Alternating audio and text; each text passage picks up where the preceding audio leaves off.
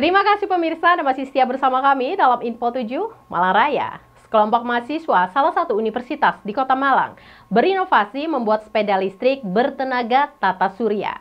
Selain hemat energi, sepeda bertenaga tata surya ini juga efisien untuk penggunaan jangka panjang. Sekelompok mahasiswa dari salah satu perguruan tinggi di Kota Malang berhasil berinovasi dengan mengubah sepeda gunung menjadi sepeda listrik bertenaga tata surya. Cara kerja sepeda ini sendiri menggunakan energi cahaya matahari yang masuk ke panel dan langsung ke aki. Kemudian ke mesin selanjutnya yaitu controller yang menghubungkan antara dinamo dengan setelan gas. Sepeda ini sudah dicoba digunakan saat malam hari.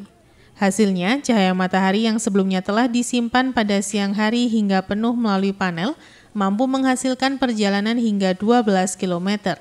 Perjalanan tersebut menghabiskan 3 bar daya dari total 5 bar keseluruhan yang tersedia. Listrik yang dihasilkan dari cahaya matahari tidak hanya menghasilkan arus untuk berjalannya sepeda, namun juga dapat menyalakan lampu sepeda. Untuk satu sepeda listrik tata surya ini, tim menghasilkan biaya sekitar 2,5 juta rupiah. Mereka terus berinovasi agar mesin yang digunakan bisa diaplikasikan ke berbagai macam jenis sepeda lain. Dan rencananya akan dikembangkan sehingga menjadi kendaraan alternatif bagi masyarakat. Saya tambahkan panel surya ini tadi untuk pengisian dayanya sendiri.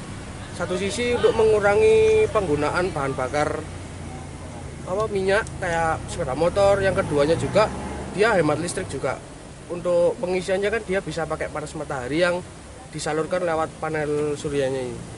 Untuk kekuatannya saya sudah uji coba sendiri, jarak tempuh kisaran 12 kilo, kondisi malam hari tanpa panas dia oke okay, masih masih bisa jalan.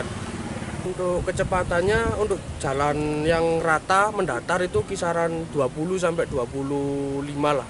Tergantung medan jalan yang dilewati. Kalau jalan naik ya mungkin tenaganya sedikit kurang sih nggak sampai 20 km per jam.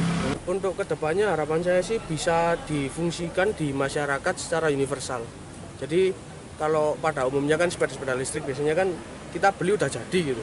Kalau ini nanti kita tinggal, insya Allah saya akan bikin di YouTube juga tutorialnya untuk perakitannya biar masyarakat itu bisa membuat juga dengan budget yang minim. Itu saya coba. Alfredo melaporkan.